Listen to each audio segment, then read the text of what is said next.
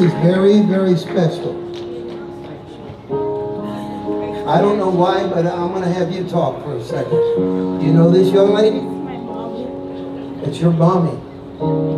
Yeah. And you're happy because your mommy has been healed. Yeah. What was wrong with her? I got MS. She had multiple sclerosis. And she Came here in a walker. She came here with she a walker. She's dancing now.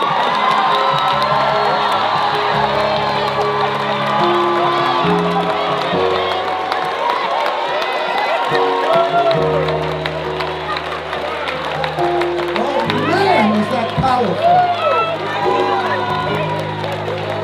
Come on, give him praise.